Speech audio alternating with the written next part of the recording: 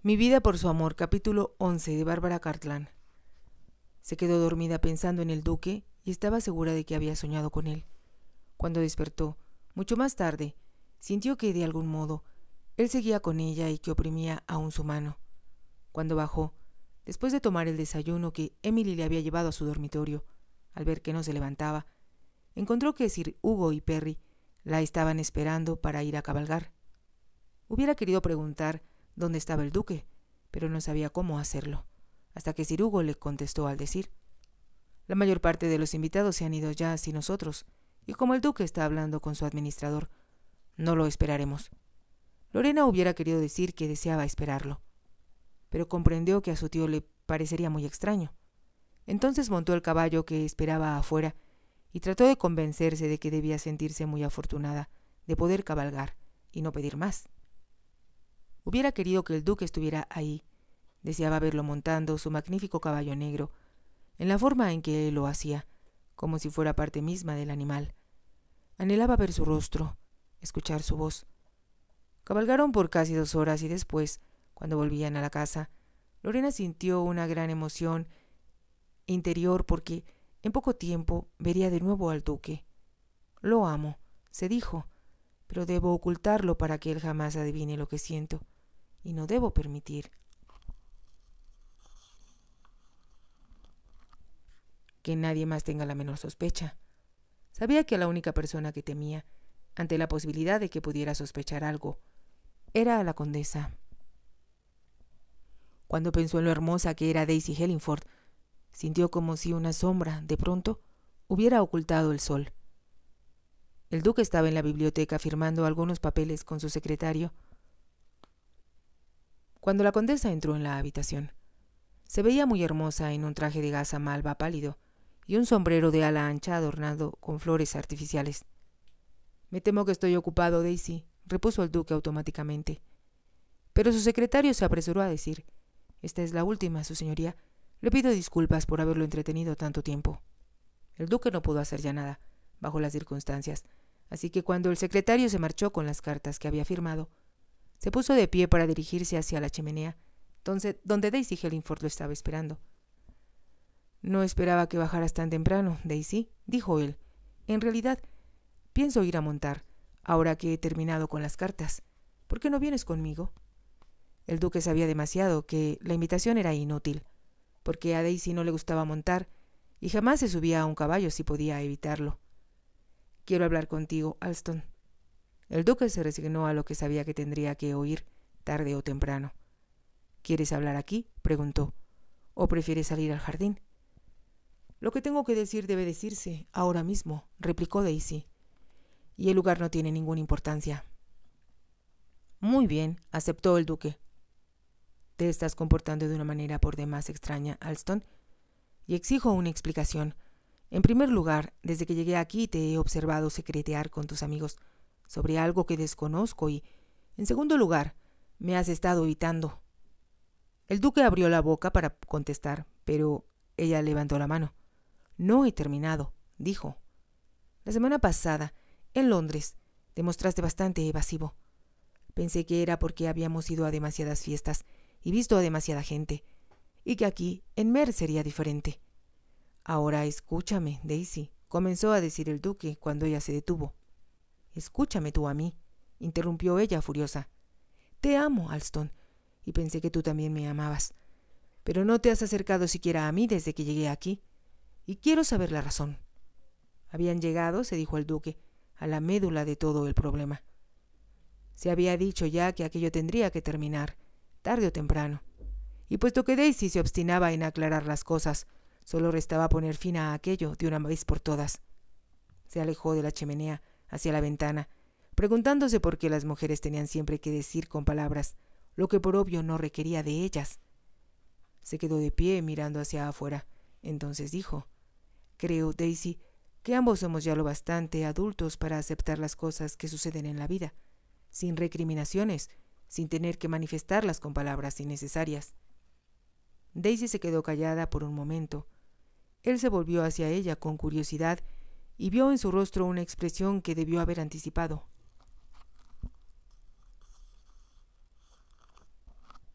era de asombro.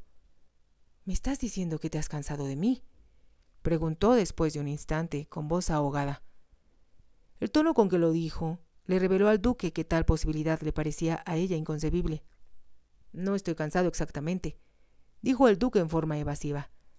Pero creo, Daisy, que ambos nos damos cuenta de que nuestro romance no tiene ya la espontaneidad ni la emoción del comienzo. Esa es una mentira en lo que a mí se refiere, exclamó Daisy furiosa. Te amo, Alston, y mis sentimientos no han cambiado. No creo que eso sea la verdad estricta. Al mismo tiempo, no estoy dispuesto a discutir sobre ello. Cuando volvamos a Londres te enviaré un regalo, que espero conserves siempre como recuerdo de la gran felicidad que disfrutamos juntos, y espero que sigamos siendo amigos. Aquellas palabras le parecieron un poco tontas, pero al mismo tiempo no podía imaginar otra forma de terminar con Daisy. En lo que a él se refería, todo había concluido y ella tendría que aceptarlo, por más que le pesara. Así que tratas de librarte de mí, preguntó Daisy. Jamás en mi vida me habían insultado de este modo. Pero te aseguro, Alston, que estás cometiendo un grave error y te juro que te arrepentirás. No cabía la menor duda de la velada amenaza que encerraban aquellas palabras, pero, por el momento, el duque tenía que aceptar la tormenta como algo irremediable, y no tuvo oportunidad de decir nada en su defensa. Siempre le habían dicho que Daisy Hellingford tenía un mal carácter, aunque mientras ella pudo ejercer su poder sobre él, no había tenido razón alguna para enfadarse, como a él le parecía entonces entretenida y fascinante, en muchos sentidos. Se había plegado siempre a su voluntad, por lo que era la primera vez que la veía furiosa. Mientras la observaba, dominada por una furia avasalladora, y la escuchaba lanzar venenosos epítetos contra él, el duque se decía mentalmente que, si había algo en la vida que le disgustara, era ver a una mujer perder el control sobre sí misma. Suponía que debía haber esperado que alguien como Daisy, que era una mujer apasionada, lo fuera en todos sentidos. Pero al dejarse llevar de ese modo por sus emociones, Daisy no solo se degradaba a sí misma, sino que lo humillaba a él. Hubiera querido detenerla, poner fin a aquella escena que se tornaba cada vez más desagradable. Pero hubiera sido más fácil para un ciclón parar un ciclón o calmar una tempestad en el mar. Daisy se ponía más furiosa con cada palabra que decía, y el duque se dio cuenta de que aquella mujer le resultaba completamente odiosa. Lorena entró en la casa, seguida por Cirugo y Perry. Tenemos tiempo suficiente para cambiarnos antes del almuerzo, dijo Sir Hugo, mientras consultaba la hora en el enorme reloj francés que se erguía en un rincón del vestíbulo. Me da mucho gusto eso, exclamó Perry antes que Lorena pudiera contestar. Quiero darme un baño. Nunca había tenido tanto calor como hoy. Creo que pasaba de los treinta y cinco grados centígrados, dijo Sir Hugo. Los tres se dirigieron hacia la escalera, y en esos momentos Lord Camford salió de uno de los salones que daban hacia el vestíbulo y se dirigió hacia ellos. ¿Tuvieron una buena cabalgata? les preguntó. Deliciosa, contestó Sir Hugo. Pensé que ibas a reunirte con nosotros. Estaba esperando a Alston, dijo Lord Camford, pero esperé en vano. Bajó la voz para que los sirvientes no pudieran escucharlo y añadió Daisy está haciendo una gran escena en la biblioteca, y me temo que la temperatura durante el almuerzo va a estar bajo cero. ¿Por qué se enfadó? preguntó Perry. No tengo la menor idea, contestó Lord Camford. Solo sé que, debido a la discusión, me perdí mi cabalgata de hoy. Lorena subió la escalera en silencio.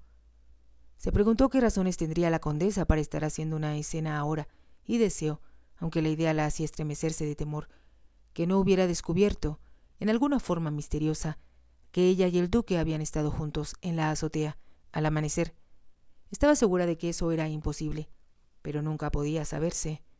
Hubiera querido no tener que bajar a almorzar, porque tenía miedo, pero de todos modos tendría que enfrentarse a la condesa tarde o temprano. Y si estaba furiosa contra ella, nunca le impediría manifestarlo. Se preguntó si podría confiar en su tío y decirle que, aunque no había tenido la intención de estar de nuevo a solas con el duque, había sucedido en forma inevitable, porque él se había reunido con ella.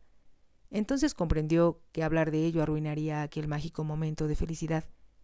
Por favor, Dios mío, por favor, no permitas que ella sepa dónde estuvimos. Oró en silencio. Continuó repitiéndose lo mismo todo el tiempo que pasó cambiándose de ropa. Bajó a almorzar llena de inquietud, para encontrar que la mayor parte de los invitados se habían reunido en el salón azul.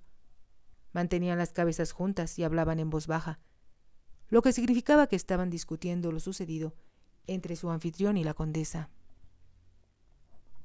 La marquesa de Trumpington extendió la mano hacia Lorena al verla entrar y la alejó de los demás para llevarla cerca de una ventana. Ven a conversar conmigo, Lorena, dijo. Quiero que me cuentes acerca de la vida que llevabas en tu casa, cuando vivían tus padres. Me encantaría hacerlo, dijo Lorena con sencillez, pero me temo que va a encontrarlo muy, muy aburrido. Vivíamos en una pequeña vicaría en una parte muy tranquila del país, en pleno campo, pero éramos muy felices.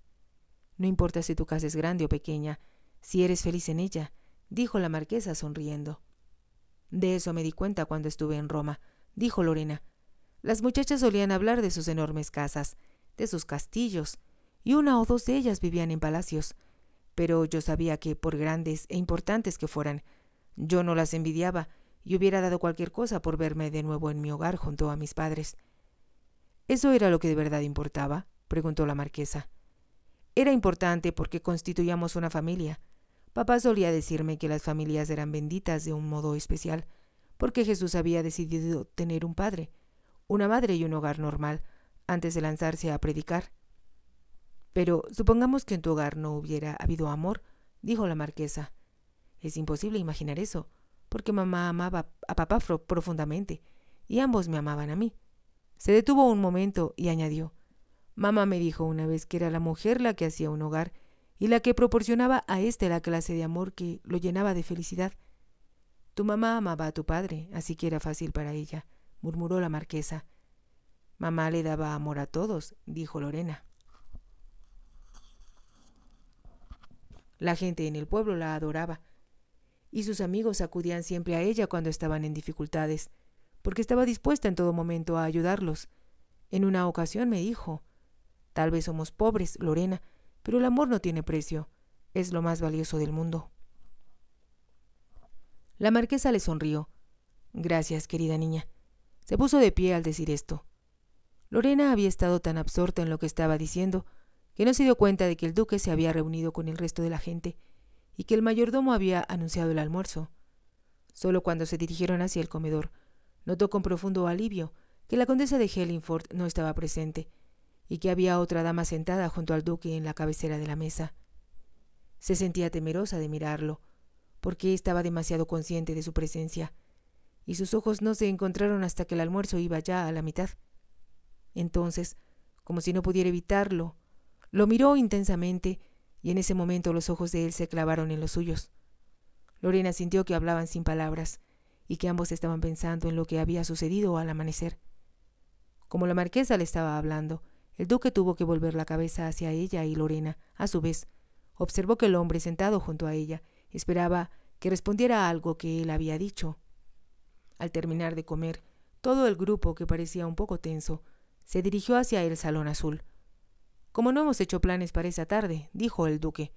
Pensé que tal vez considerarían divertido ir en carruaje o a caballo hasta la presa. Está a unos ocho kilómetros de aquí y fue construida por uno de mis antepasados, con mucho dinero y poco sentido común. Podríamos hacer una especie de picnic y tomar el té ahí. Eso me parece delicioso, exclamó la marquesa. Yo estoy dispuesto a ir a todas las presas que quieras, donde quiera que estén construidas, si puedo competir contra ti en uno de tus caballos, Alston, dijo Lord Carnford. A mí también me gustaría participar en la competencia, dijo el mayor Fane. Podríamos organizar una carrera de obstáculos, sugirió alguien. La idea es buena, dijo el duque. ¿Qué opinas tú, Perry? Estoy dispuesto a competir como sea y con quien sea, contestó Perry, siempre y cuando me dejen seleccionar a mi caballo. Puedes elegir el que quieras, mientras no sea el mío, dijo el duque. Esa es una ventaja injusta, exclamó uno de los hombres. No realmente, contestó el duque, porque si yo gano prometo no tomar el primer lugar, sino cederle el premio a quien ocupe el segundo. Vamos a establecer algunas reglas en esta carrera, Alston, preguntó Archie Carnford. Creo que la mayor parte de nosotros conocemos bien la región. De cualquier modo, creo que sería más divertido si fuera una simple carrera de aquí a la presa. Deben dejar que nosotras vayamos primero, dijo la marquesa pues de lo contrario no estaremos ahí para saludar al vencedor. Eso me parece muy sensato, aprobó el duque. Ahora veamos, ¿quién va en carruaje y quién va a caballo? Miró hacia Lorena y el duque comprendió por el brillo de sus ojos que quería cabalgar. Las damas pueden ir a caballo si lo desean, dijo en voz alta, pero no competirán. Está sugiriendo, intervino la vizcondesa, que no podemos montar tan bien como los hombres. De seguro se verán muy atractivas al empezar, contestó el duque. Pero esta carrera será dura y difícil. Me aterra pensar cómo se verán al finalizarla. No seas aguafiesta, Sara, exclamó la marquesa. Yo intento ir a caballo. Saldremos a media, media hora antes que partan los que van a competir, para llegar con comodidad. Hace demasiado calor para hacer mucho ejercicio. Yo, en lo personal, prefiero ir en carruaje, dijo una de las damas, y otras dos estuvieron de acuerdo con ella. Creo que será mejor que vayamos a prepararnos, dijo la marquesa. Ven, Lorena, démonos prisa, o no encontraremos los mejores caballos cuando bajemos. La marquesa había empezado a caminar hacia la puerta cuando apareció la condesa de Hellingford. Se había cambiado de vestido y llevaba, para sorpresa de Lorena, un sombrerito plano en la cabeza, de los que se usaban para viajar en automóvil, del cual pendía un largo velo de gasa. Llevaba sobre un brazo una de las mantas que las damas se ponían encima siempre que viajaban en un coche abierto, con las dos manos dentro, como si fuera un manguito. Cruzó la habitación con paso imperioso y se detuvo justo antes de llegar donde se encontraban Lorena y la marquesa, para encararse al duque, que se separó de los hombres con quienes hablaba. He venido a despedirme, Alston, dijo la condesa en voz alta, tanto de ti como de tus amigos. Todos dejaron de hablar y se hizo un profundo silencio antes que ella continuara.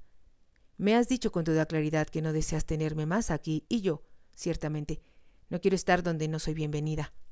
Se detuvo un momento y el duque intervino. Por favor, Daisy. La condesa continuó como si no lo escuchara. Regreso a Londres y nunca, de eso puedes estar seguro, Alston. Volveré a poner un pie en este maldito lugar.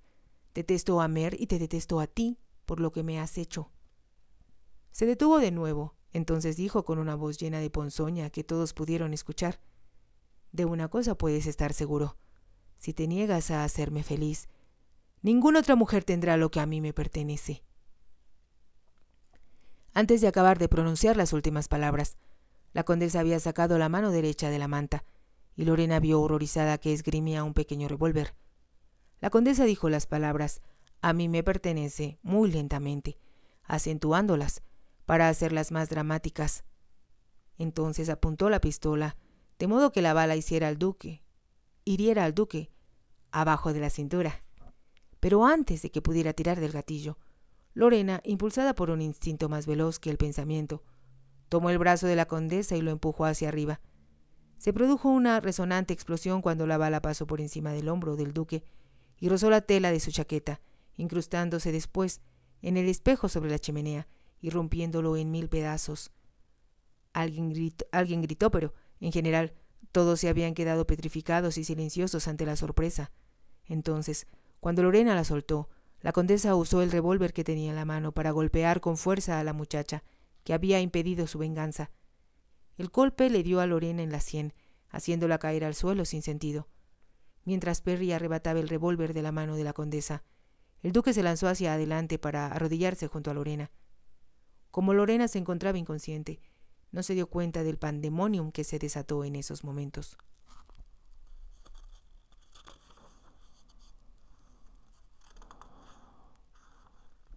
Todos hablaban y lanzaban exclamaciones a la vez, mientras la condesa, con los ojos relampagueantes y las mejillas encendidas, permanecía de pie, mirando furiosa al duque, que ni siquiera levantó la cabeza para mirarla.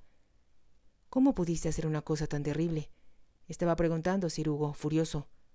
Podías haber matado a Alston y te hubieran ahorcado por ello. No lo habría matado. Simplemente le habría impedido continuar con sus infidelidades, si tu sobrina no hubiera interferido. Debías agradecer que lo hizo, replicó Sir Hugo. Imagínate el escándalo que habrías provocado si hubieras matado o herido a Alston. Y si alguien cuenta lo que sucedió aquí, la prensa se enterará y será un desastre. El resto de los invitados continuaban de pie, mirando a Daisy como si aún no pudieran creer lo que habían visto. El duque se puso de pie con Lorena en brazos. Manda a buscar un médico. Le dijo con voz aguda a Perry que era el más cercano a él. Sin añadir nada más, se dirigió a la puerta. Al desaparecer tras ella, estalló un murmullo ahogado de voces, y Cirugo levantó la mano. Ahora escúchenme todos, dijo. Quiero que me juren, por lo que sea más sagrado para ustedes, que nadie mencionará lo que ha sucedido aquí, fuera de estas paredes. La condesa emitió un sonido de desprecio y se dispuso a marcharse, pero Cirugo le cerró el paso. Tú jurarás también, Daisy, dijo, y quiero hacerte notar una cosa. No estoy protegiendo tu reputación, sino la de mi sobrina. Tu sobrina no está involucrada en esto, salvo por el hecho de que me impidió darle a Alston su merecido, dijo Daisy con brusquedad. Sabes también como yo que si se supiera que había salvado la vida de Alston y que se había visto mezclada en una pelea entre tú y él, la chica sería menospreciada socialmente, en una forma por demás injusta que le haría mucho daño.